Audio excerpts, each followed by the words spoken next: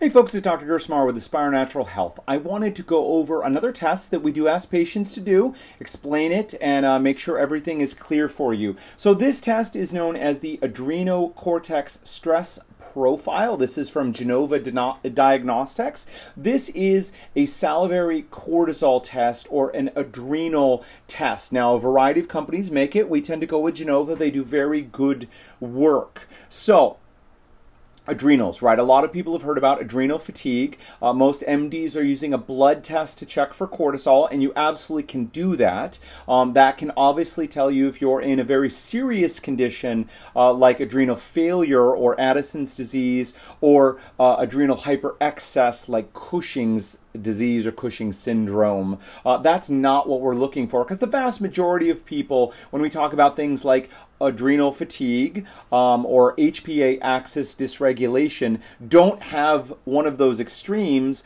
Uh, they're somewhere in the middle with their dysfunction. Now, you can look at cortisol levels in the blood, but it's important to understand that cortisol is in a rhythm throughout the day. It should be high in the morning, low in the evening, uh, and it has a rhythm to it. And doing a blood test can only tell you about one point in time.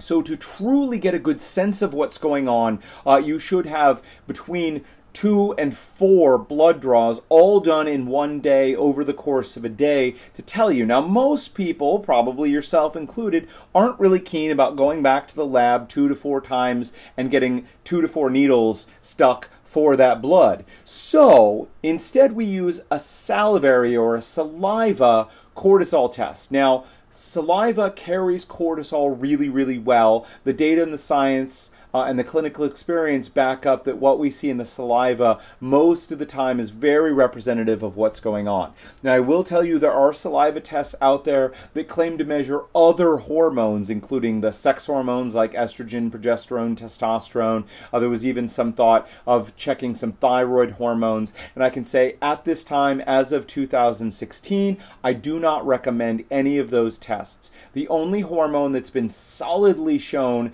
uh, to be well represented represented in the saliva is cortisol. So, that having said, it is much easier to collect several cortisol samples in the course of a day than it is to have blood done. And so, often we are recommending a salivary cortisol kit. So, this is the kit uh, that you would get for this test. We'll go ahead and open it up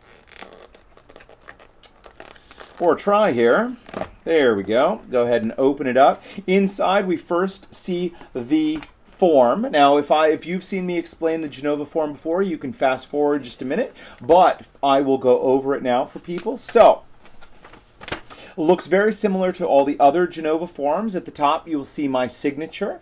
Now, it's important to know that if we've sent this kit to you, you may not have my signature on it. If we have specifically sent the kit to you and it doesn't have my signature, don't worry about it. The company knows that we've sent it to you and it's not going to be a problem. If you've seen me here in the office, I will go ahead and sign here for you. Well, then the second box will have selected the payment options. Uh, in this case, it's going to be one of two options. It will be the cash pay price or it will be the easy pay. Now, if you haven't heard about easy pay or you need a little refresher, please click on the video Understanding Genova's Easy Pay. All right. Otherwise, we're looking at a cash billing. If easy pay is selected, you will then, the codes down here will also be selected. If cash pay, these codes are not necessary. All right, so my signature at the top again, not if we've sent it to you. Uh, the option either cash pay or easy pay. If easy pay, the codes will be selected. Over here, really only one option, so it will be checked off. And it's important to note at the time at the top, they're asking for the day that you collected the sample. So Normally, this all should be filled out for you the signature, the plan, uh, the codes, and the box. And the only thing that you'll need to do is input the day that you collected the sample. Now, on the back, the top, you'll put in your name and information. The second box here will be insurance. If you're doing cash pay, you do not need to fill in your insurance. If you're doing easy pay, you do need to fill in your insurance. Then the payment information, you can use credit card, check, or HSA account. Lastly, at the bottom, sign. So once again, just a quick reminder, on the front, everything should be filled out. The only thing you need to do is fill in the day it was collected. On the back, you put in your personal information. If you're doing Easy Pay, your insurance information, the payment option, uh, and sign at the bottom. All right. So we move on now to the rest of the kit. We have a little checklist reminder of what you need to do. We have instructions. I do ask that even though you've watched this video, you do go ahead and review the instructions, okay? This tells you everything that's going on. Now, there are a couple of drugs that could influence this, and we should have talked about it. If there are any unanswered questions about drugs you're taking, please drop us a line and let us answer that for you. Now, it is a saliva test, so there are a couple quick things to go over. They're saying, for example, if you're having trouble getting enough saliva in your mouth, they're recommending that you can yawn, rub your tongue against the roof of your mouth to get more saliva, right? One hour prior to your collection, don't eat, brush or floss your teeth, use mouthwash, chew gum, or tobacco, okay? You can drink water perfectly fine. All right. So let's move on now. There are four samples that you're taking over the course of one day. So the more there are morning, midday, afternoon, and before bed. Okay, for most people that means morning, around lunchtime, around dinner time, and before bed. All right. Now, you're going to have four different tubes. So you'll see next four tubes here one, and three more. Those are obviously for those samples. Once again, uh, morning when you wake up, uh, midday or around lunchtime for most people, uh, late afternoon or dinner time, and then before bed. All right, so we want to make sure to write your name, time, and date of collection on there because we don't want to get them confused. If you put in, you know, that morning sample in the evening, you're going to get a very different test result. So it's important that you mark them correctly. So they recommend when you're getting ready to go ahead and collect a sample. So again, as we've said, an hour beforehand. So let's say it's lunchtime, right? You eat lunch. Let's just keep it easy at noon. So by 11 o'clock, you're not going to eat anything from 11 to noon. You're not going to brush or floss your teeth, use any mouthwash, chew gum, or any tobacco, but you are welcome to drink water. So noon comes around, you're going to collect the sample.